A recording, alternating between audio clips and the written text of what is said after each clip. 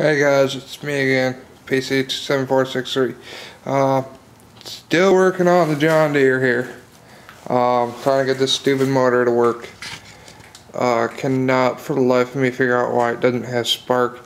Uh, watching a bunch of videos on YouTube and found out that inside of here there are points. My points were filthy, so I had to clean them cleaned them. I had just reset this entire assembly to the correct one. I do not know if this system is bad yet. Um, it's passed every test that I've done that I was shown. This, on the other hand, this piece right here, this cap. Oh crap, where'd I put the old one? Here it is. This thing is the old cap. That's garbage. Didn't work. So, Maybe this one will.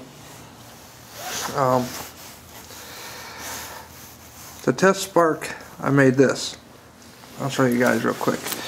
Uh, all it is, is it is a end cap for PVC. It's a one inch. These are obviously just screws.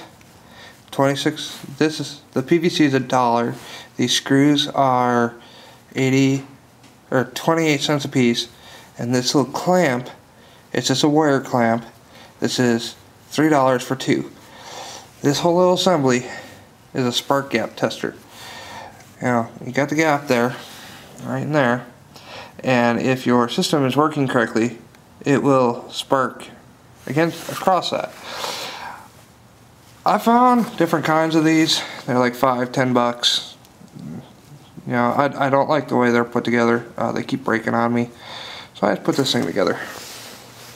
Um, if I can get, if I cannot get spark after this, I am ditching this motor. I'm not wasting any more time with it.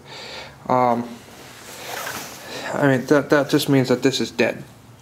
And I'm not, this piece is $5. So, so far this engine has cost me $5 in parts to try to get working again. This I am not counting because this is just a tool that I'm going to use for multiple engines. I can always reuse this. So, here's the deal. If this engine doesn't produce a spark, let me walk around the Gilson, my kid's stroller. There is my grandmother's, my deceased grandmother's push lawnmower. I'm gonna walk around it so you guys can see it a little bit better. This is a Briggs & Stratton so I know everything about them that I can. It's a yard machine, three and a half horsepower. So this engine will be half the strength of the original, but I know this motor works. So this engine will be coming off, stripped down to everything I need it to, and we'll be going on there. And then I will be, once I get that dry, once I get the engine in, the whole drive system reconnected, I will be testing the transmission, make sure the transmission works. If the transmission works, that's great. I also found something else out. If you guys watched, I was building the mini bike. Well, that failed. That is the back tire to the mini bike. Let me get that out of the way. It is a 5 bolt hub. Now, I've always been trying to figure out how to measure 5 bolt hubs. Uh, I was told that you measure from here to here. I measured that. I was really hoping to put car tires on the back of the Gilson because they're cheaper. Well, I can't figure out the bolt pattern. This, here, let me get this. Oh my god, that thing's heavy. This is the flange that bolts to this tire with the bolt pattern on it. This was the drive system for the mini bike. Thank God we disassembled it. Because I welded this hub to a piece of plumbing pipe. And that weld is horrible. It's all splattered. But then that pipe welds onto that gear. And that's the drive system. So I'm really glad that the mini bike failed. But if you can tell, that bolts on. Now, I don't know how well I'll be able to see, show you this. But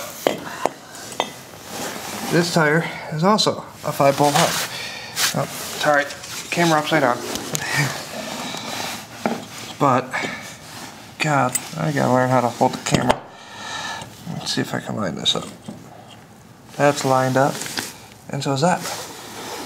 And so is that. Which you can't really see, so. The plan is, when we get start building for go-kart, I will get another one of those tires to replace these back tires. Since it's not, they are, oh, trying to do this with one hand. All right, there we go. These tires, the new ones, will be wider, obviously. And extension cords, and obviously, they're bigger. So, bigger back tires, all that. That'll be great. So, still not wasting any time with this yet. I don't want to do anything to it until we get the engine. Um, might as well open it. If I have to take the other motor and drop it in, I will. So, I hope I don't have to do that though. I hope I can get this 7 horse working so I can have more power. Alright, talk to you guys later. I'll make another video in a few minutes after I get test the spark. Alright? Or I'll just make one tomorrow. Talk to you guys later.